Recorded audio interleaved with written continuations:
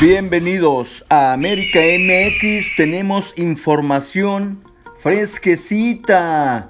En América no habrá más fichajes y se declaran listos para pelear por el título.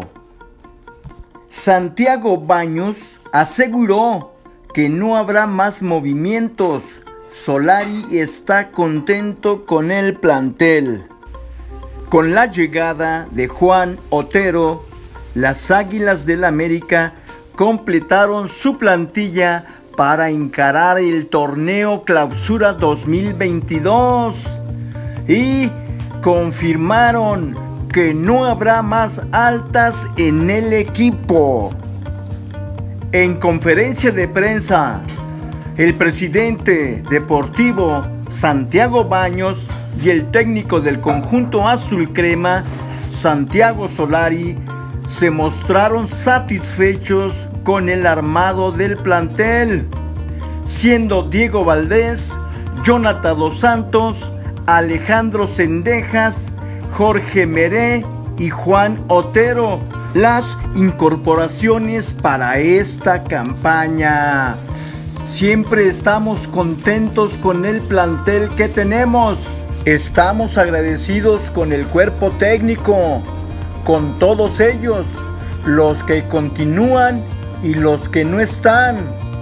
Todos han dado lo mejor y no tenemos reproche con ninguno de ellos. Hoy llegó Otero y cerramos la plantilla. Tenemos que amalgamarnos, tener tiempo de trabajo juntos, ya que el semestre se divide en dos torneos y apuntamos a la fase de la liguilla y llegar de la mejor manera posible. En tanto, Santiago Baños reconoció que en este invierno fue difícil para la dirigencia debido a que presentaron negociaciones fallidas con distintos jugadores. Sin embargo, aseguró que es un tema que no esperan repetir para el próximo verano. Esas fueron las declaraciones de Santiago Baños.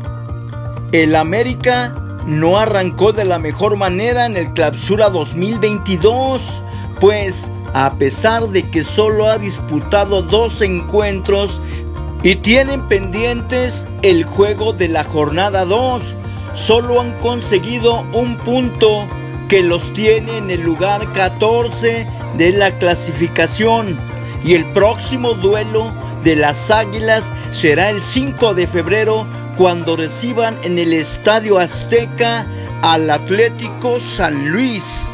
Esto es lo que sucede en el Club de Cuapa. América MX, siempre con las noticias más veraces y oportunas al momento.